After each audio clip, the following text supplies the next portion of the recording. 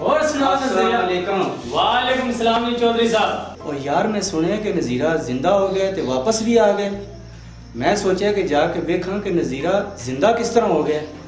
ਔਰ ਚੌਧਰੀ ਸਾਹਿਬੋ ਉਹ ਨਜ਼ੀਰਾ ਇਸ ਤਰ੍ਹਾਂ ਜ਼ਿੰਦਾ ਹੋਇਆ ਉਹ ਜਿਸ ਤਰ੍ਹਾਂ ਫਿਲਮਾਂ ਦੇ ਵਿੱਚ ਕਰਨ ਔਰ ਅਰਜਨ ਜ਼ਿੰਦਾ ਹੁੰਦੇ ਨੇ ਉਹ ਇਸੇ ਤਰ੍ਹਾਂ ਜ਼ਿੰਦਾ ਹੋ ਗਿਆ ਚੋਦ ਸਾਹਿਬ, ਉਹ ਜਿਸ ਤਰ੍ਹਾਂ ਟਾਈਗਰ ਜ਼ਿੰਦਾ ਹੋ ਗਿਆ ਤੇ ਨਜ਼ੀਰਾ ਨਹੀਂ ਜ਼ਿੰਦਾ ਹੋ ਸਕਣਾ।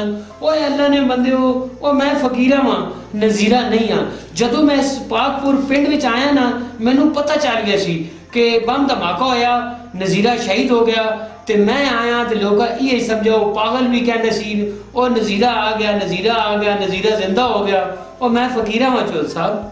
ਉਹ ਯਾਰ ਛੱਡੋ ਸਾਰਿਆਂ ਕੰਮਾਂ ਵਾਂ। ਫਿਲਮੀ ਦੁਨੀਆ 'ਚ ਤੁਸੀਂ ਕਿੱਧਰ ਪੈ ਗਏ ਹੋ ਯਾਰ?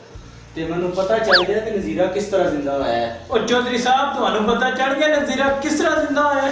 ਉਹ ਚੌਧਰੀ ਸਾਹਿਬ ਇਹ ਸਮੋਸਾ ਨਹੀਂ ਹੈਗਾ। ਔਰ ਚੌਧਰੀ ਸਾਹਿਬ ਸਮੋਸਾ ਸਮਝ ਕੇ ਖਾ ਨਾ ਜਾਇਓ। ਉਹ ਫਕੀਰੇ ਬਚਾ। ਉਹ ਚੌਧਰੀ ਸਾਹਿਬ ਖੁਦਾ ਦਾ ਨਾਂ ਨੇ ਛੱਡ ਦਿਓ ਛੱਡ ਦਿਓ। ਉਹ ਯਾਰ ਇਨਸਾਨ ਦੇ ਪੁੱਤਰ ਬਣੋ। ਠੀਕ ਹੈ ਮੈਂ ਚਲਿਆ ਜੇ ਯਾਰ। ਜੋ ਜੋ ਜੋ ਚੌਧਰੀ ਸਾਹਿਬ ਜੋ। ਚੌਧਰੀ ਸਾਹਿਬ ਸ਼ੁਕਰ ਹੈ ਫਕੀਰਿਆ ਸਮੋਸਾ ਸਮਝ ਕੇ ਚੌਧਰੀ ਖਾ ਹੀ ਨਹੀਂ ਗਈ। ਅੱਜ ਬਚ ਗਿਆ ਨਾ ਬੱਚਿਆ ਆਹੋ